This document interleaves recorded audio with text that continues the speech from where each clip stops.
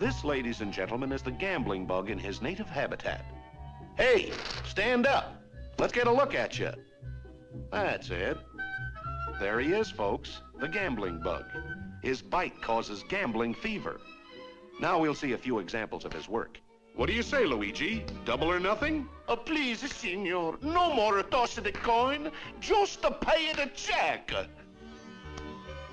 I'll bet you five bucks that fly lands on my glass first. It's a bet.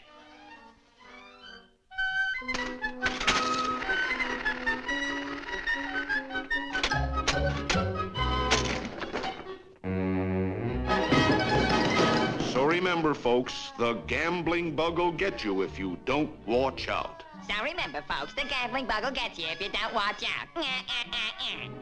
And I will, too.